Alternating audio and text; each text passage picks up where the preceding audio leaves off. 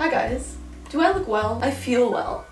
I hope you're doing well. Welcome back to another day, another sleigh in the studio.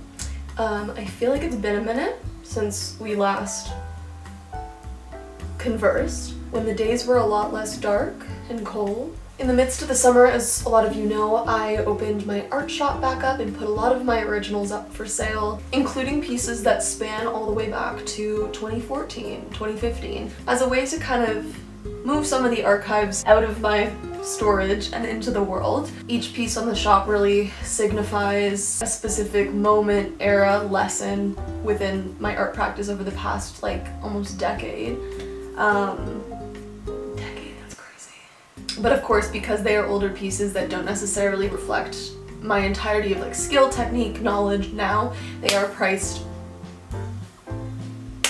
they are priced a lot lower than my current work or like possibly any work that I will continue to put forth. So at the beginning of the month I announced that the shop will be closing at the end of this year. I think it's just the perfect time of year to like grab that painting you might have had your eye on in the summer but wasn't so sure about because the prices have been knocked even lower and there's an extra 20% off that you can get with code GEMINI. Going over to my shop, see if there's something you might like and just go get yourself that cute little holiday gift of having good taste. I don't- I didn't mean to start this with like a promo and ad or anything. I genuinely just wanted to talk about like what I've been up to in my art and life and it accidentally turned into an ad. I'm so sorry that I'm such a good YouTuber. Everybody sponsor me! I think it ties into a couple things that I wanted to talk about though, um, which is packing, shipping, kissing goodbye, this piece of mine, and then yeah, just how my practice has kind of shifted in the last little bit, which I would define as as if right on cue, my camera died. Um, but you can't silence me, I have another camera. I don't even remember what I was saying. Oh yeah, learning to live with the art practice. You may say I'm a dreamer. Dreamer! But growing up, sometimes you realize adulting takes- oh, I don't want to say adulting, that sounds so millennial. Being an adult is very time consuming having responsibilities, having a job, having social obligations, having da da da da is very time consuming and sometimes that fantasy of sitting in your studio all day cooped up um, painting for as long as you'd like is not always a reality. It is unfortunate, but it is true. So we have to change our relationship to the painting process. Um, I think I used to paint in a way that's that was like nothing, nothing, nothing, nothing, nothing. Six hour day of painting, nothing, nothing, nothing, nothing, nothing. Eight hour day of painting, nothing, nothing, nothing. Like 12, eight, like huge chunk of painting. And so that eventually became like what I knew as my painting practice was something that I would have, and trust I would get a lot done in those 8 to 12 hours. I really would. I've learned the unfortunate reality that being adult means like your days off aren't even your days off. Like you just have to catch up on the rest of your life stuff. So to dedicate my day off to an 8 to 12 hour day of painting is no longer the reality. It's not practical. And that's only the first part. And it with your motivation as an artist. It really does. If you're sitting around and you're thinking, oh, I really want to get back to painting, but you only know this thing, uh, the act of painting as this 8 to 12 hour commitment where you have to sit down and like grind it out, that is such a big hump to get over, that is such a big obstacle. Imagine trying to pull yourself out of depression to go into something like that, to go into this huge heaval, upheaval. That doesn't, that's not the right word, but it sounds like it. This trudging of of labor. No, I don't I don't think anyone I could never. So here's what I've reconciled with and here's what I've kind of rebuilt and reformed for myself as an artist recently. Is that a painting day? No such thing. No such thing. I just I have my days and painting gets included and incorporated into them in one way or another. As an artist, of course, the dream is one day to be able to fully, solely dedicate my days and my life force and my energy to painting all day, to creating art all day. But sometimes that's just not the reality. I mean, in general, even if that was the reality, there are other life responsibilities like health, friends, other goals, other things. And you want painting to be a part of that? Let's make it work, let's find a way. What's something you do every day, even when you are so busy, when you are so, you have all these other things going on, like brushing your teeth, okay? You don't not brush your teeth and wait until like the last day of the month and then brush your teeth 12 times that day and then not brush your teeth for another month and then brush your teeth 20 times at the end of that month. I mean, I sure hope you don't. If that was the way that we operated with brushing our teeth, what kind of relationship, what kind of internal relationship would we have to the entire world of dentistry? If painting is something that you are struggling to incorporate into your life because you're so busy, or you just want that bit of joy and creativity to be part of your day to get you through the week, you have to treat painting like brushing your teeth. Which, depending on your setup, depending on your space, depending on your schedule, of course, might be easier said than done.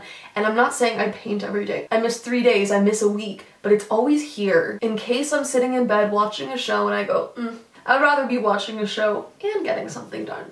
You know what I mean? So it's always here. That's the key.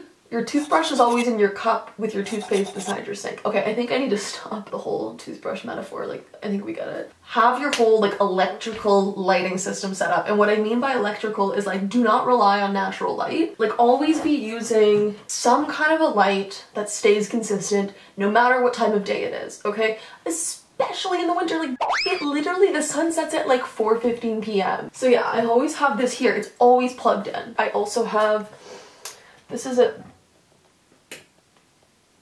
I also have that. Oh, it's actually better lighting for me. It's like a smart bulb. This kind of mimics like the perfect natural light, right? And then I just, I keep this further away, but it kind of fills the whole room so it gives the same effect as the natural light. Okay, I'm leaving that on. Next thing is that I leave this out and ready as well.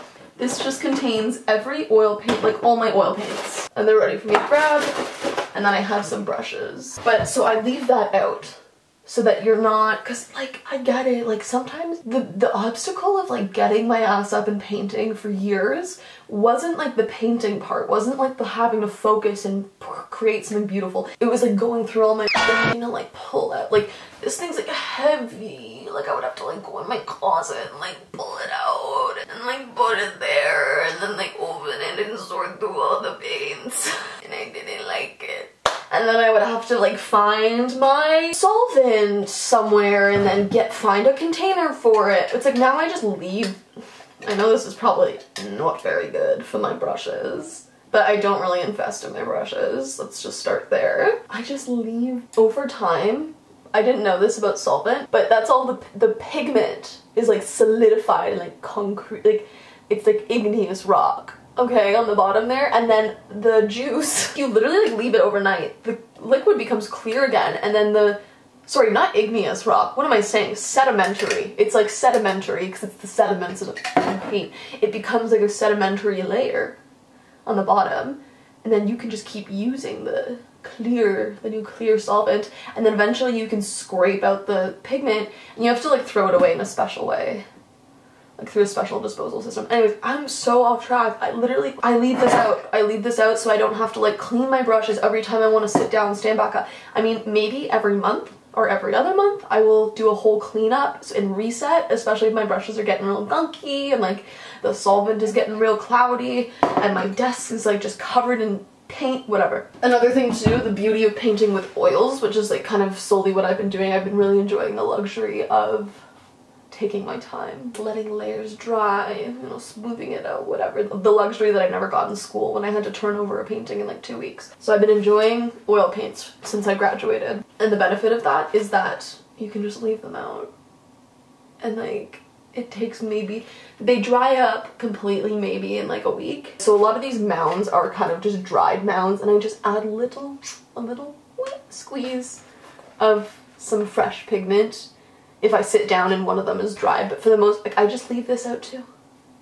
Okay, I leave it out. The colors I've mixed here are very thinly laid down, so they dry in like a day. So I wake up the next day, I sit down and I could just start mixing on top, which I know it's better to mix on like a pure white surface, then you pay for my palette. I don't know. This is what works for me. And I just leave this out too. So that's my step one. That's my foundation. That's my base. Everything is here and out. And not disruptive. Oh, wait, can I also show you one thing? Sorry. It's like a makeup brush cleaner. I use it for my oil paints because it just gets all that pigment out of there. So anyways, to have everything out and ready for me for whenever I choose has been fantastic because I've been painting pretty much almost every day. Extremely short increments, a lot of times under an hour, sometimes three hours. I would say like I'll spend my evening doing it. I feel like I have so many other things that I also need to do in a day. So if I get 20 minutes of like something done, sure, why not? So I've been working on this piece. There are so many working parts to this piece that I can like sit down one day and just do like the highlights on the hair a little bit, get one layer of that down, that like even that is something and makes a difference and it's contributing to the completion of the piece. And there's just so many little parts and little details that I want to get in that it's going to take a lot of those sessions and with this one I really, I used a liquid gel to build up layers, like glazing layers, like the old masters used to do. I've really been taking my time with this one. It's still so far from completion, but I think the way I've been approaching it has changed my painting practice forever. I'm not, like, not to be dramatic, but it's changed it forever because now it's not this huge hill to climb. It's like a part of my day, integrated into my day, like brushing my teeth. Because you know how exhausting it is when you like are like, okay, I want to do this thing. Okay, find all the brushes. Okay, we gotta fill the we gotta fill it. Like, you know, you have to get everything set up. And then to sit down and be like, oh, I feel like I can only dedicate 15 minutes to this today and then I have to go. And then to put it all. The labor never ends. There's a boulder on my back and it's just, no, no. Art should not be like that. It should be extremely enjoyable. It should be a luxury for you, babes. It should be something that makes your day easier. Or just is a space you know you can go to to relax and it's so not relaxing to like clock in for like a 12 hour painting shift which sometimes it is and sometimes you have a moment where it just it consumes you and those moments are beautiful but like going in being like oh fuck I have to sit down for like 10 hours and like do this. Or like I have to go set everything up. No you can make it a lot easier for yourself. And I just I am sharing this with you acting as though this is the first time I've thought of this because it is. And it's it's changed my relationship to painting so much in the way that I approach painting. And like listen I'm not making any huge strides on this. Like this has been three months in the making. And I could have finished it a lot quicker but it's like no no no. I I like enjoying myself. I like being cozy. This who no one's waiting on me. No one cares. Unless you do then go to stevieminacs.com slash shop. Anyways, speaking of shop, I was gonna take you guys along to pack up these couple of orders with me, drop them at the post office. Maybe we'll treat ourselves to like a cute little beverage on the way home and then I'll kiss you goodnight. How's that sound? Let me show you what I got. I just went on a walk to Staples. Love that place. Printable shipping labels. I feel like every single time I take an order to like the post office or receive an order. I'm thinking of like ways that I can improve the shop and improve the whole situation. So for the longest time, I was write handwriting the addresses on the envelopes. My handwriting just sucks. It just does. I'm sorry. And it's just been so sloppy. And it's like, I've made like mistakes on the front, like scratched it out and like wrote a new thing. And it just probably looks so ugly. So I got these printing labels. So I'm gonna like print your addresses on them so they're a little bit more legible. Um, I also got these, got these little postcards made. Gonna write some cute things on the back. So I just got the labels printed. First I'm gonna pack up the print order. So I just sign right in the bottom. Boom, famous. And I was also gonna throw in this print as well. Get those right in there, perfect. I'm gonna take my card And that goes in there too. So I'm then gonna peel off the sticky, bend, and seal it shut. So then I'm just gonna place the shipping label and normally this is where I would just chicken scratch across the envelope. And as a nice touch, I've had this giganto bag of stickers. It's a castle in the clouds. Now, for the other one, I'm actually packing up like an original painting on wood panels, so I want to make sure she's protected. I found the perfect mailer, it's literally the perfect height, and it has some wiggle room for some extra like bubble wrap or padding. I'm gonna use some craft paper. good.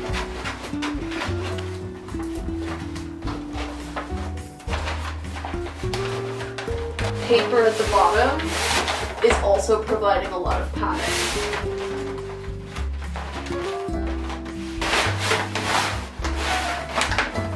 Okay, and that like just barely fits now, so there's no room for it to go topsy-turvy in there. My new favorite phrase right now is topsy-turvy. Yeah, okay. This was actually, I'm really excited to send this to the person who will be receiving it. Sent me an email with a special request um, for the note that I always include in my packages. Um, and I just thought that was really sweet. And so just know that if you have any requests for, especially during the holidays, if you were shopping for anyone, my email, my contact info is all um, on my website, on my shop as well. So do not hesitate to email me and ask me to like do like an analog cameo for you or like say anything or address anyone. Like I'm totally open to that and would love to do that. It makes it very exciting for me and very special. So just so you know, that's the truth. Also, I meant to say earlier that I'm very grateful that I found this box, this shipping box. It really is the perfect size and it's so easy. When I tell you, and I'm so sorry, sweetie, to any person who has ordered um, a painting or a larger print from you before, because the way that I go dumpster dive, not dumpster diving, the way I will go sorting through all of the cardboard I have in my house and like assemble this like Frankenstein like shipping box with like the just it's been vile, okay? And I know it's just not the vibe. It's not as nice as receiving something so sleek and streamlined. So I will be ordering more of these. Okay. But this is really strong tape. Packages are finito burrito. I'm gonna go take them to the post office. Would you like to join me?